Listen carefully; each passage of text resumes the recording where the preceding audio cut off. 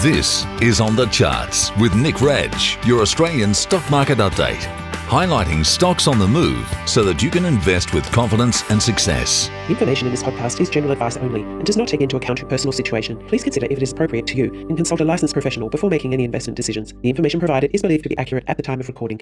Welcome to the On the Charts podcast, episode 187 for Tuesday, 3rd of May, 2017. US trading was reasonably quiet ahead of the much expected Apple results, which came out after the market closed. The massive tech giant added 0.6% during the day session, but lost 1.8% after the announcement in the night session. Apple announced a fall in iPhone sales, suggesting the buyers are holding back for the September release of the 10 year anniversary phone. The company also announced it will boost its capital return program by $50 billion and its share repurchase plan by $35 billion. Other big losers last night after negative earnings was Advanced Micro Devices which slid 24%, and Twilio, which fell 30% in after hours. In night trading, the S&P 500 futures are basically unchanged, but we do expect volatility to continue as analysts digest the Apple data, and the Federal Reserve meets tonight, but no change to rates is expected. In Australia today, all eyes turn to Vocus yet again after it downgraded its outlook for the second time in seven months. Its shares resumed their plunge toward oblivion, falling another 27% today and are now 75% off its highs of just 12 months ago.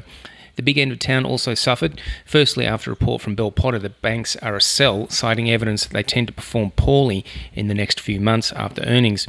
This was amplified after yesterday's ANZ result, which fell short of expectations, and what may lay ahead for the balance of banks' earnings in the coming weeks.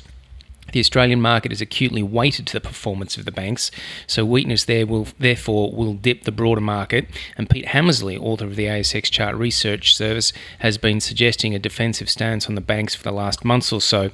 He cites several patterns on both weekly and daily timeframes that suggest upside momentum has been lost and that risks to the downside have accelerated. In reference to the banking index itself, the pattern progression remains well within the bounds of a larger correction, which started back in early 2015. 2015. Now, agreed, the banks have had a good run over the last six months or so, but even so, that's deemed a bounce and not the start of a new trend into new high ground.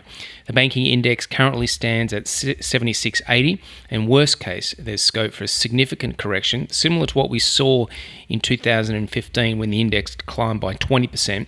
That said, we don't foresee that scenario playing out here. There is major support down around that 6800 level, which has a high probability of being tested.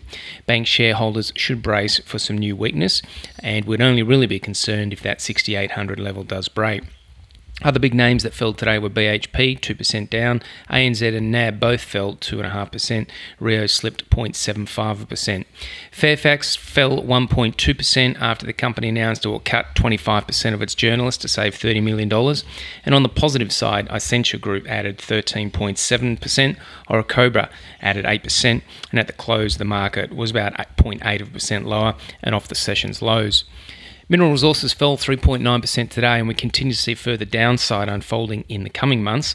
Analysts remain upbeat, however, citing the recent weakness in iron ore is the key driver of the price weakness, but also suggest that lithium is going to become the greater driver in earnings in the years ahead. Other reasons to remain bullish longer term include the Mount Marion lithium project is running to schedule, its strong balance sheet, and further cost reductions are in the pipeline. Now, technically, the stock remains in a corrective movement, and if price follows the typical progression, we should expect further weakness to fulfill that typical pattern. We believe that longer term higher prices will be seen, but investors should be offered a better level to initiate positions somewhere down around the 8 to $9 level versus today's close of $10.25. A near term rise may be but at this stage, we'd see that as a false start.